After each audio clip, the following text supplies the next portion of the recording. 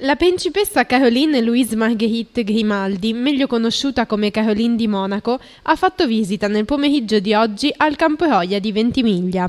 La principessa, che nell'aprile 1993 è stata nominata presidente dell'Associazione Mondiale Amici dell'Infanzia, fondata dalla principessa Grace, ha donato a nome dell'associazione una ludoteca per migranti minorenni, ospiti della struttura di accoglienza gestita dalla Croce Rossa italiana.